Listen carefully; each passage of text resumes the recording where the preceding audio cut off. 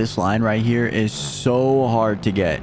Took me about seven tries. You got to jump all the way over the table, hit the triple, and then you got to hit this massive triple inside this rhythm section. It is so hard. So hard.